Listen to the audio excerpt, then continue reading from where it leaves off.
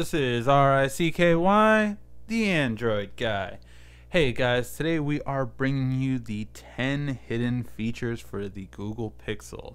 Now this will work for the Google Pixel or Google Pixel XL. Right here we do have the XL, and we're going to go through each and every hidden feature that you don't know about, or at least most people don't know about. So take a look at all 10 and see if you knew all of them, or maybe just one of them. Let's find out together, and remember you can see this video separate if you choose to. Let's get started.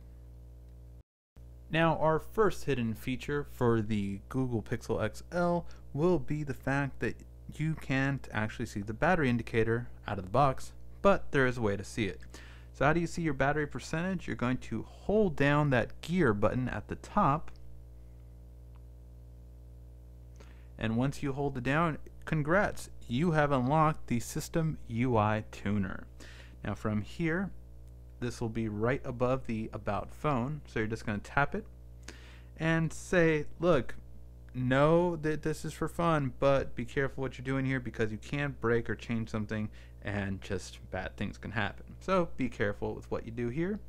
Click got it and we're going to go to status bar. From status bar we're going to swipe all the way down and we're going to go right here to battery right here. Show percentage when charging. Well we don't only want to show when charging we want to always show percentage. So now that we did that as you can see we will now always have our battery percentage showing. I love this because I always need to know where my battery is at and I do not like not knowing.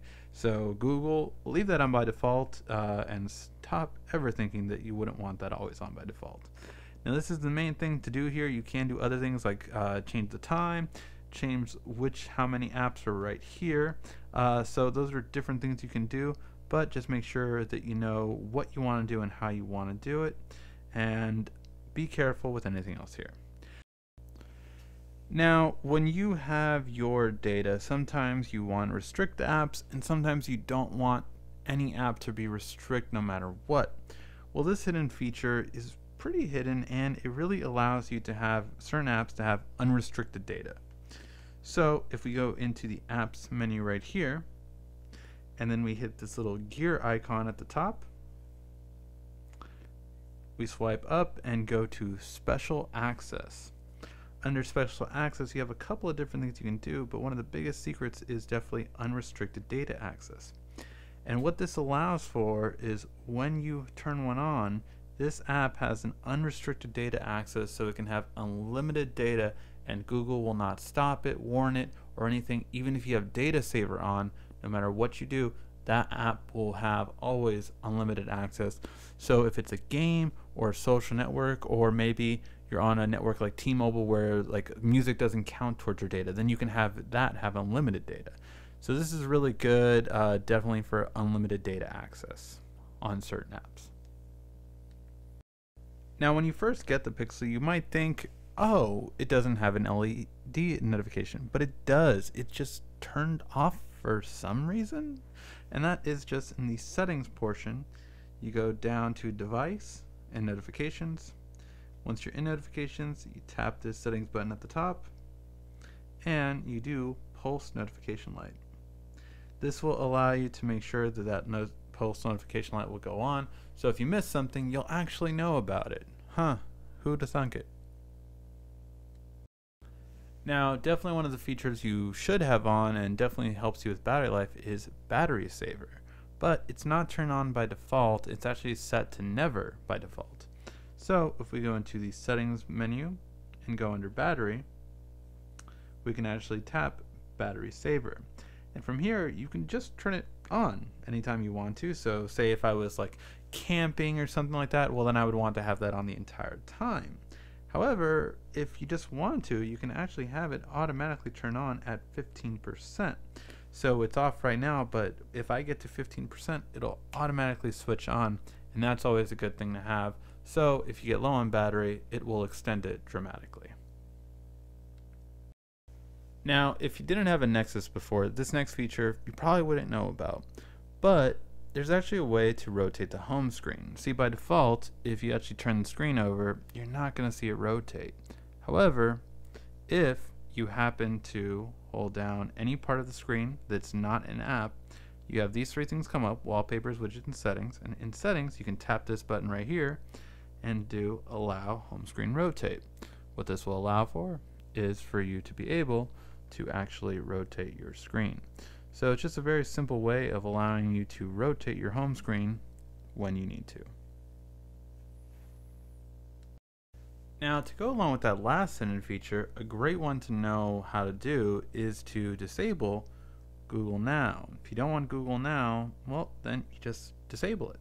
How do you do that? Well, you hold down any part of the home screen that's not an app and then you go into settings.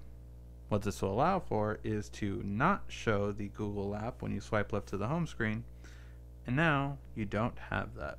So this keeps it really clean. If you don't want to have Google swipe over, well then you just have to tap the G or hold down the home button to get into it that way. But if you're not one that likes to go to the Google Now app by swiping to the left and just feel it slows your phone down, now you can have, have the ability to get rid of it. Now, definitely one of the biggest pain points for anyone is when you pass by a Starbucks or a McDonald's or something along those lines and you connect to a Wi-Fi network that's really slow and your phone just starts trying to download things. Well, you can stop that actually with network restrictions. So what do you do? You go into settings, you go under data usage, and you go under network restrictions. What this allows for is that when you want to, you can assign certain uh, Wi-Fi locations, such as an AT&T uh, Wi-Fi or a Starbucks Wi-Fi or McDonald's Wi-Fi, Target Wi-Fi, hotel Wi-Fi that you might not want to download a lot of apps through and this will restrict it. So as soon as you turn that on it will restrict it and not let it download huge apps without first warning you and then that way if you stop it then it'll stop it completely and you won't have to endure trying to uh, go through multiple times to try to stop the apps from downloading now back in the day when you had android uh, ice cream sandwich 4.0 come out well, we had something called Android Beam. Google, however, decided to disable this by default on this phone. I'm going to tell you how to bring it back. Now, what you do is you go into settings and you go under more. And then first of all, NFC is turned off by default. So well, one, we have to turn that on. And then as soon as we turn that on, takes a second, you go into Android Beam and then you turn that on. By default, this is off even if NFC is on. So you turn that on and what this allows you to do is transfer over big files, pictures, videos, anything like that along those lines uh, through this.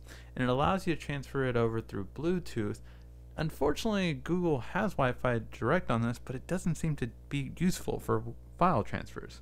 Uh, so, but you can at least do that. So tap back to back. It'll instantly transfer over things like browser pages, YouTube videos, uh, contacts, and things such as that but you can transfer over large uh, portions of photos. It's actually how I got my photos from my older phone to this phone that didn't have enough storage to take all of them.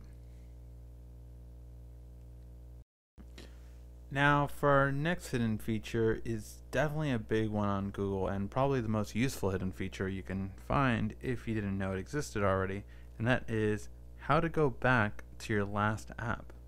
Now this is baked into Android 7.0, so all you do is simply tap this button, the overview button, twice.